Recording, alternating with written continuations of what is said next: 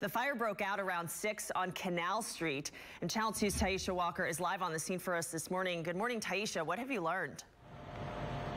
Sophia, good morning. Arson investigators are now here at the scene. Take a look for yourself to see the damage left behind. You can't tell much right now, but if we show you video, you can see uh, some of the damage left behind. While we don't officially know what caused this fire, just minutes ago, the uh, fire chief here told me that there was uh, a skillet running when the employees came in this morning to try to set up for business today. Apparently, some grease inside of the skillet got caught into the vent hood where there was grease there too, and that created a fire in the vent hood, which then spread through the vent hood into the attic.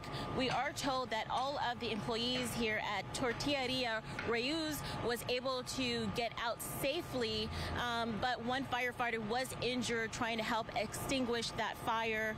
We are told that he is expected to be okay. He suffered a minor leg injury, um, but take a listen to the district chief talking about them trying to attack this fire where they think it started.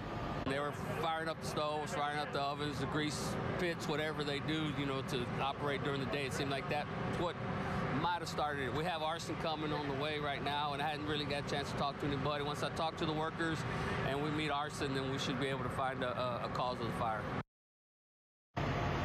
And back here live, you can see arson investigators are underneath that awning there. They are looking a little bit closer at that vent hood to try to piece this all together. But we are